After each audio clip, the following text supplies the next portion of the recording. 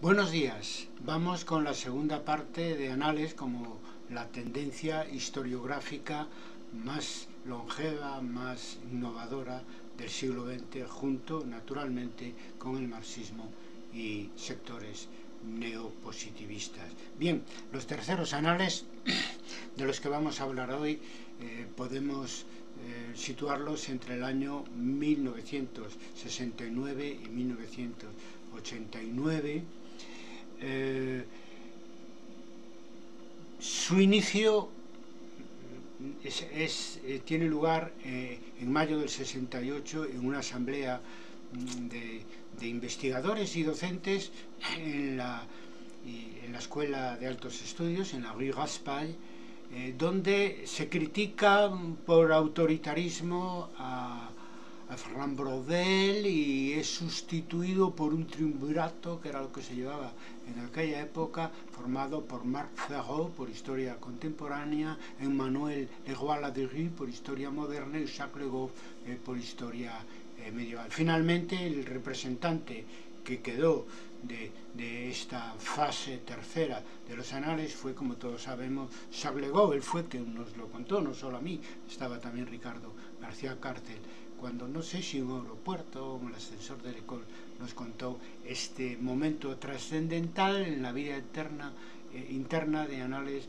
como tendencia historiográfica que supuso mayo del 68. Después de mayo del 68 pues vino el desencanto, eh, en el ámbito, digamos, intelectual y académico se impuso el post-estructuralismo.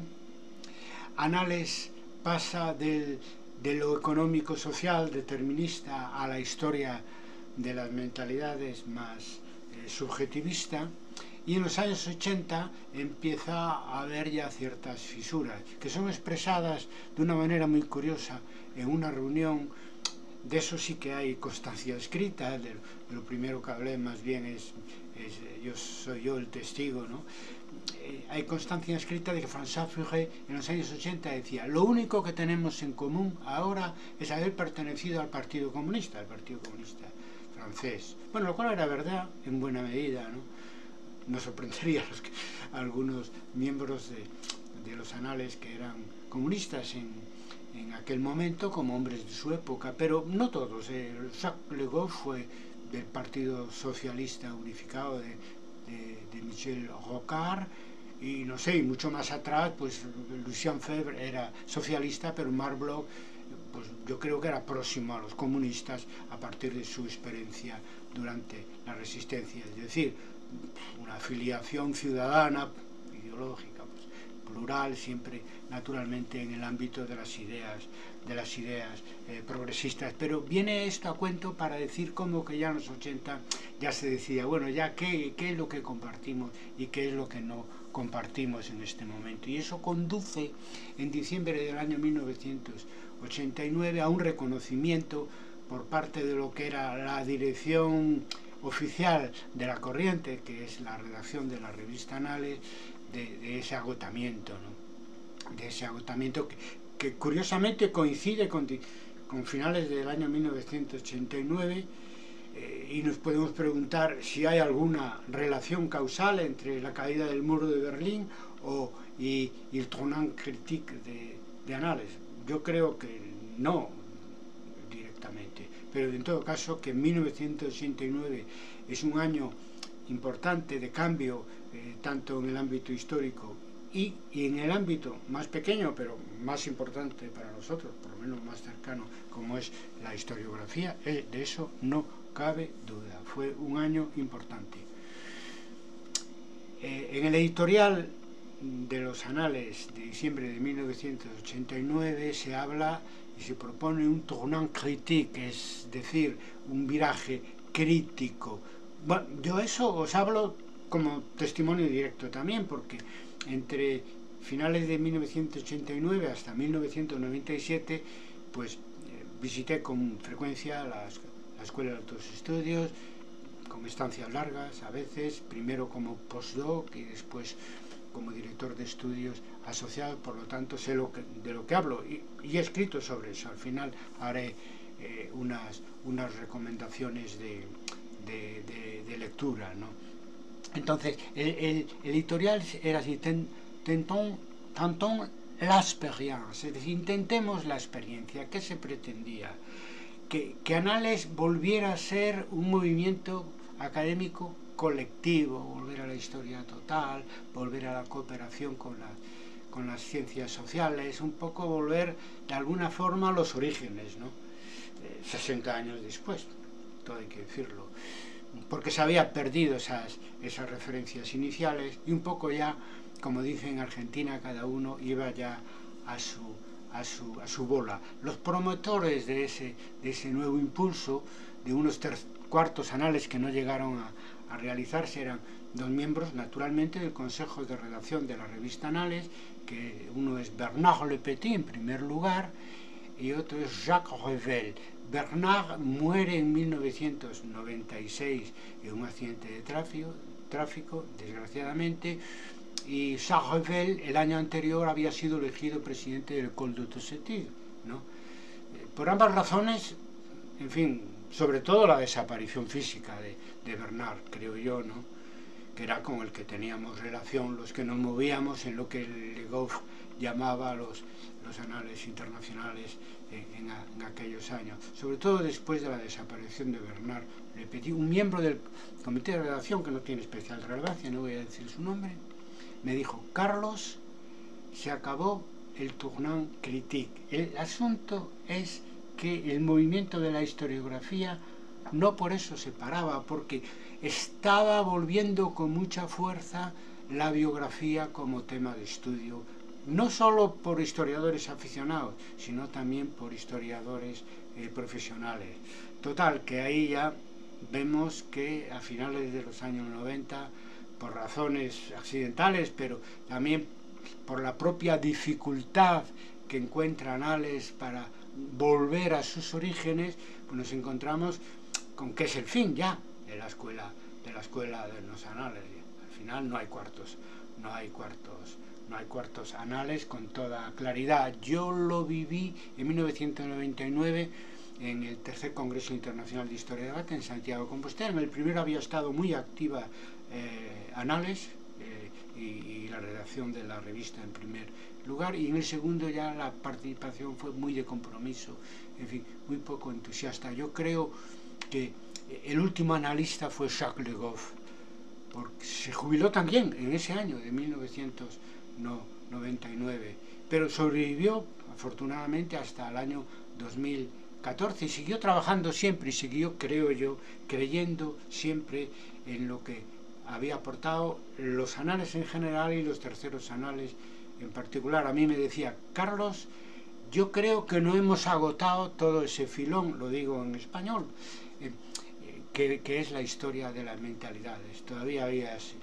había tenía esa, esa visión. Con él se fueron los análisis y sus 60 años de historia, que no es poca cosa. Claro, estamos hablando de cómo Anales no logra despegar sus alas de nuevo entre los años 80 y los años 90, es que, lo, es que hay una explicación externa también, porque los años 90, lo, lo hemos dicho varias veces a lo largo de, este, de esta serie de vídeos, eh, son muy, conser muy conservadores. Por ejemplo, viene el posmodernismo que niega no solo lo que es anales, sino también lo que es el positivismo, sino lo que es la historia como ciencia y nos trae eh, eh, a, la época de la, literatura.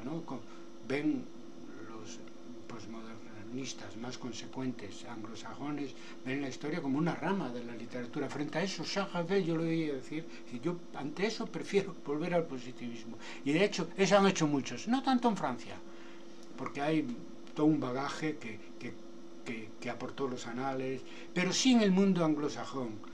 Mucha gente que, a consecuencia del, del empuje de, de, del positivismo eh, reactualizado, etcétera, pues, eh, perdón, a, a, consecuencias del empuje, lo dije mal, del posmodernismo vuelve al positivismo reactualizado. También, también hay que valorar para entender la decadencia, porque todo nace, se desarrolla y muere, la desaparición de los anales como tendencia historiográfica organizada, eh, eh, pues eso, en los años 90, hay que entender el contexto de Francia en el ámbito cultural mundial. Y Francia fue, digamos, el foco de innovación a lo largo de todo el siglo XX, desde, desde las vanguardias artísticas eh, de, finales del siglo XIX y principios del siglo XX hasta mayo del 68, en todos los ámbitos, ¿no? Pero eso en los años 70 va decayendo y ya en los años 80 y no digamos en los 90 desaparece y es una muestra más del mundo que viene, es decir, que es el mundo de la globalización. Claro, nos podemos preguntar, yo voy a dar seis razones, ¿por qué se agotó la escuela de anales?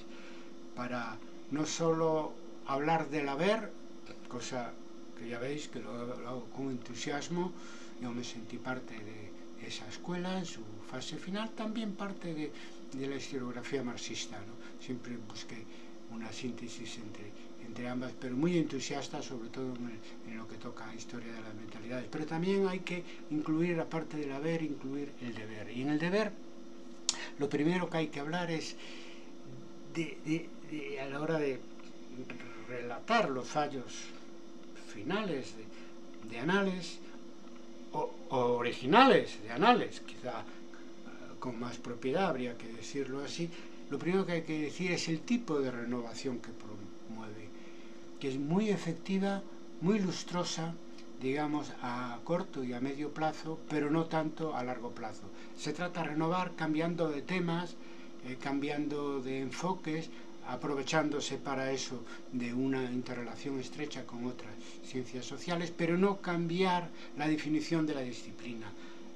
Seguir utilizando el concepto de la historia científica como se empleaba en el siglo XIX. Ahí faltó audacia o, faltó eh, eh, lucidez, pero el fallo fue muy evidente. También es cierto que tuvo beneficios a plazo corto y medio, ¿no? como decía, porque hizo posible una alianza no solo con el marxismo por otros temas, ¿no? sino también con el neopositivismo en temas como los que hemos hecho ya referencia anteriormente, como la historia problema o la historia cuantitativista.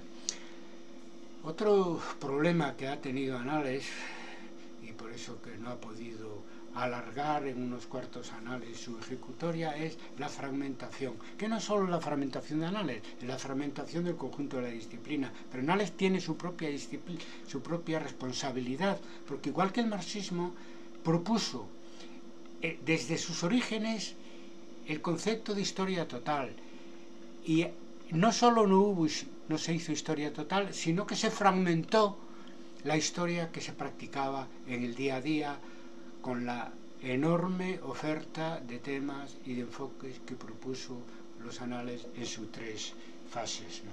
Por lo tanto, fracaso de historia de la historia total. Mi amigo François II, en un libro muy conocido, L'Histoire en miettes, la historia de migajas, hablaba de esta fragmentación de anales en los años 80, pero bueno, olvidando que en realidad es una fragmentación general del conjunto de nuestra disciplina que no ha hecho más que crecer desde aquellos años hasta hoy en día, pero bueno, eso será motivo para otro episodio de esta serie de vídeos sobre qué es la historia.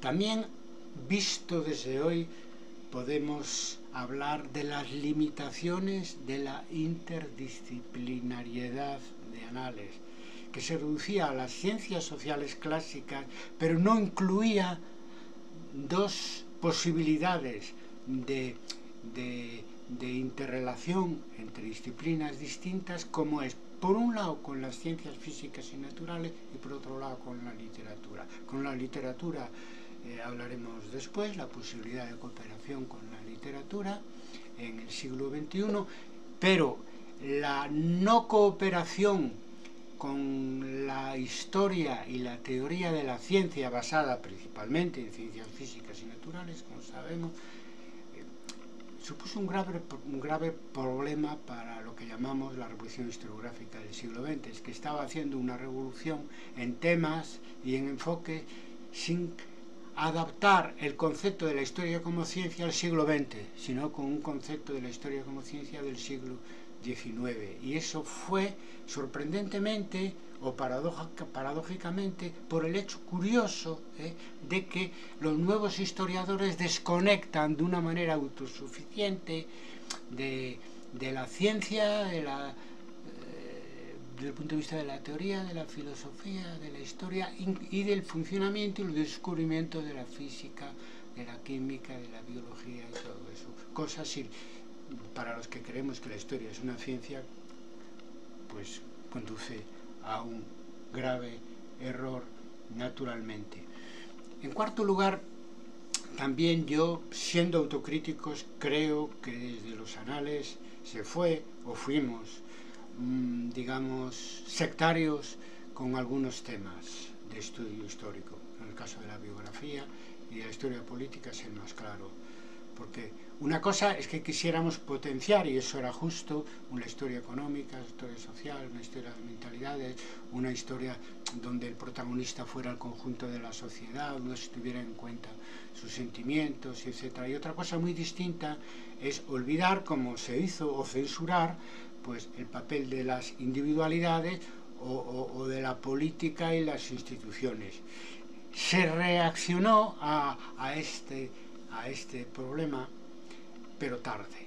Es decir, ya, ya a finales de los terceros anales empezó a hablar de los retornos, de qué hacer con este retorno de los, de los temas tradicionales de la historiografía, de la época positivista, y, y, sí, y desde Anales se quiso eh, aportar pues es un nuevo enfoque a, la historia biográfica, a la historia política, introduciendo la historia social, la historia de las mentalidades. Lo hizo de una manera maestra Jacques Le Goff en la biografía del rey eh, San Luis, pero era demasiado tarde para los retornos. Simplemente Anales pues decayó y, y los viejos temas del positivismo decimonónico florecieron pues hasta día hasta día de hoy, como, como, como bien sabemos. Por lo tanto, ahí hubo un error a plazo largo.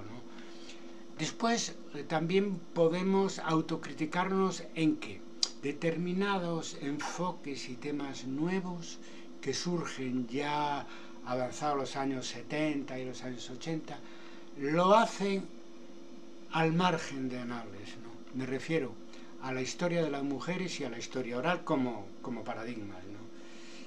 Ambos, digamos, consecuencia, como pasó antes pues, con, con otros movimientos sociales, consecuencia historiográfica del empuje pues, del movimiento feminista en un caso o del movimiento identitario en otro caso. Todo el mundo sabe que la historia, el primer archivo de historia oral que se hizo eh, eh fue en Estados Unidos de América eh, sobre la historia de la minoría afro, afroamericana. Entonces ahí ya no estaba Anales, simplemente después en algún número de la revista se habló algo de eso, etcétera, pero ya no era un, una novedad metodológica, una novedad historiográfica que surgiera del seno de la escuela de Anales. Y en sexto y último lugar, algo que cae de, ca, de cajón. Es decir, Anales tenía que terminar como terminó todo lo que fue fruto del eurocentrismo del siglo XX. ¿no? Es decir, estamos hablando de la renovación de la historiografía del siglo XX, pero primero aparece un foco en Alemania y pues un foco en Francia. Y si se quiere, como eh, en próximos episodios a, hablaremos también del marxismo, un foco en Inglaterra con, con, con la historiografía marxista inglesa, pero siempre Europa, ¿no? Siempre la vieja Europa. Y eso ya a las puertas del siglo XXI, ya en vísperas de, de, de, la globalización que, que ahora estamos viviendo, no tenía mucho sentido. Por lo tanto, esas son las razones de por qué se agotó la escuela de anales, ya quisiéramos para otros fenómenos de tipo intelectual eh, y cultural o académico, pues una duración de seis décadas, como en el caso de Anales. ¿Qué quedó de Anales para el siglo XXI? Voy a aportar cinco notas rápidas para ir terminando. ¿no? Primero, eh, lo más evidente, el espíritu de escuela es muy importante. Hoy vivimos, si acaso, un individualismo académico, o si queréis academicista, más fuerte nunca. Cada uno de nosotros somos eh, únicos en nuestro, en nuestro despacho, con nuestros alumnos, con nuestros libros, con nuestros trabajos, con nuestras publicaciones. Entonces, recordar que la disciplina avanza y el conocimiento histórico avanza en la medida que se organice colectivamente el historiador, no es poco. Otra cosa es que se quiera escurrir el bulto y si no se quiere participar en, crear eh, tendencias, pues que se diga, no, yo mismo soy mi propia tendencia. No me digo, no me refiero al individuo, sino mi equipo, mi tema de investigación, mi línea de trabajo con lo cual estamos cogiendo el rábano por las hojas naturalmente. Una tendencia de las que estamos hablando, de las grandes, no tiene por qué ser grande, puede ser grande o puede ser pequeña, pero para que sea una tendencia historiográfica que deje huella fuera del campo estrecho eh, académicamente en el que tú te mueves, es necesario que sea transversal, o sea, que sea intradisciplinar como ya dijimos más atrás. ¿Qué más queda de Anales? Pues eso, Anales sigue siendo una fuente inagotable de temas y de enfoques para investigar que no sean tradicionales. No es poca cosa en la época que vuelve la historia eh, tradicional. ¿Qué más queda de Anales? Valorar la innovación como una virtud, no como un defecto. ¿No os ha pasado a vosotros que, por ejemplo, si un alumno joven empieza a investigar y quiere hacer cosas nuevas, que se le diga, no seas demasiado ambicioso. Con eso hay que romper. Porque si cuando eres joven no innovas, ¿cuándo lo haces? Cuando seas mayor. Cuando hablamos de estas corrientes historiográficas que se formaron en el siglo XIX también, ¿eh? pero estábamos hablando sobre todo de las del siglo XX, ¿quiénes la constituyeron? ¿Qué edad tenían Marc y Lucien Febvre cuando se fueron a Estrasburgo? 40 años, todo lo más, ¿no? Recién licenciados casi como oficiales de, la, Gran Guerra. Sí, si en ese momento se innova, ¿cómo se le puede decir eso a los jóvenes? Lo entiendo desde el punto de vista de poder del profesor ya pues situado académicamente y que no me vengan estos jóvenes a, decir cosas nuevas que ya está todo dicho. Nunca está todo dicho, porque si la historia no se rehace continuamente, la historia muere. De ahí que el espíritu de innovación, que si deja de estar presente en la historiografía del siglo XXI, apaga y vámonos. ¿Qué más deja Anales? Tres instituciones, la revista Anales, la Escuela de Estudios en Ciencias Sociales y la Maison des Sciences de l'Homme, la, Casa de las Ciencias del Hombre, con una deriva más hacia la, historia antropológica, etcétera, pero muy, muy importante también que está pegada en la Rue Raspail a la, a la Escuela de Altos Estudios. Bien, hoy en día son instituciones académicas como otras cualquiera, simplemente tienen una, gran historia detrás. Ya no tienen, ya no, ya no, constituyen una tendencia o una escuela, ya no comparten paradigmas, pero aunque ellos lo olviden, los demás no lo olvidamos, y no todos lo olvidan dentro del École de actualmente y de la revista Anales, me consta, aunque ellos lo olvidaran, está en la historia de, nuestra, disciplina. Y esas instituciones fueron creadas por los fundadores y, continuadores de los anales, desde Marblot hasta Jacques Le Goff, pasando por Fernand Brodel. Y eso no es, como decimos en España, coloquialmente, moco de pavo. Si queremos innovar historiográficamente en el siglo XXI y ayudar desde la historia a que mejore la historia vivida, la historia de todo, no se puede hacer tabla rasa de la revolución historiográfica del siglo XX en el seno de la cual la Escuela de Anales jugó un papel muy importante. Nada más por hoy, recomendaciones de lectura Ya dije que sobre eso he escrito bastante y todo está fácilmente accesible. Eh, por orden cronológico, primero voy a hablar de un artículo breve que después quedó inédito, de todas maneras se publicó en internet, que es eh, Análisis hacia honor su historia, hablaba sobre, sobre Tugnan Critic y que podéis consultar en academia.edu, en mi perfil personal. Los otros cuatro trabajos a los que voy a hacer referencia eh, están accesibles en mi página web cebarros.com. Eh, el primero de ellos es el Tournant Critique de Anales del año 91. De ese mismo año es también la Nouvelle Histoire y sus críticos. Del año 1992 es la contribución de los terceros anales y la historia de las mentalidades y en último lugar, en último lugar el primer año de este milenio, en el 2001, escribí también en este caso breve, pero creo que sustancioso, un trabajo sobre la escuela de anales y la historia que viene. Feliz lectura, en caso de que os animéis, y hasta la próxima semana, donde hablaremos de marxismo, del marxismo y los historiadores. Nada más, muchas gracias. Ser felices.